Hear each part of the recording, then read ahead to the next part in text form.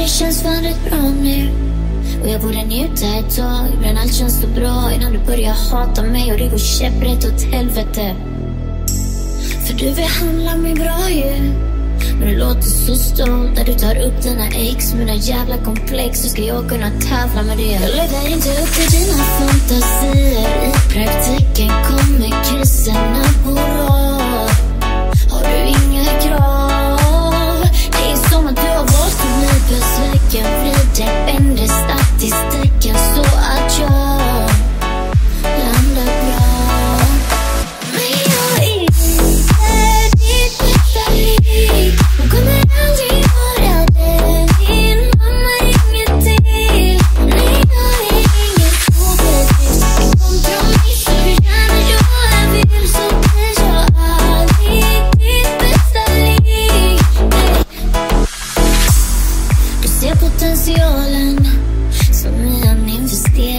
investering korrigering kommer snart uppgraderingen.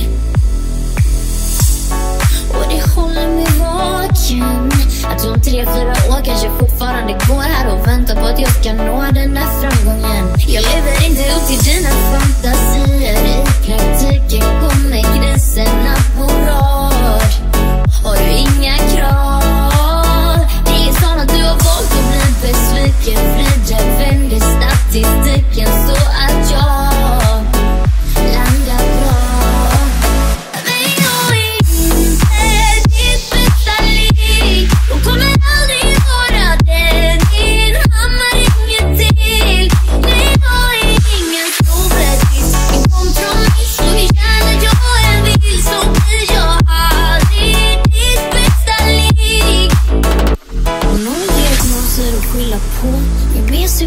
logiskt rätt skör och trist. Fan, jag vet inte logiskt att tänka så.